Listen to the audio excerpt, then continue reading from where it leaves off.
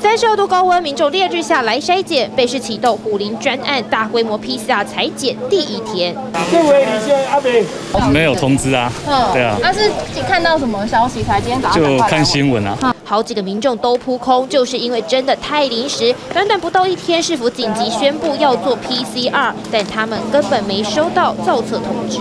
对，因为没有任何通知啊，我以为就是八个邻里的有的有事在这边涉及的就可以，所以我不清楚。是在菜市场那边买菜，现在就是喉咙有一点痒痒，就很紧张。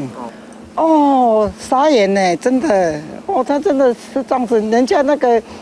那个什么新北市都做的，马上抓，马上好。别说民众有怨言，里长更是无奈。但很仓促，我们接到命令，然后收到表格，表格又要更改，然后要要做做一些通知，然后要发来的群组，对呀，对，然后其实新闻一出，然后就开始我我发出来，新闻一出就开始电话不断了啊。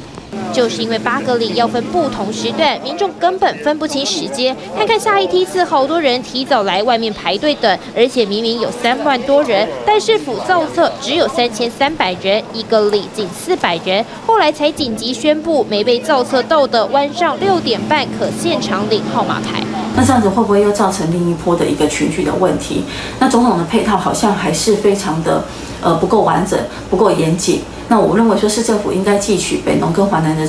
的这个经验，武林街周边会紧急启动专案，是因为十三户三十人确诊，框列一百四十四人，感染源不明。不过似乎很多人意愿还是不高，有支援医护就在脸书发文说，第一轮结束才采了六十二支，民众前往筛检不如预期。柯师傅启动专案要揪黑数，但就怕时间仓促，配套没想好，反降低了民众意愿。TVBS 新闻陈友祥、李祖恒台北报道，请订阅、按赞、分享 TVBS News 频道。要开启小铃铛哦，还有还有，下载 TVBS 新闻手机 App，随时掌握国内外大事。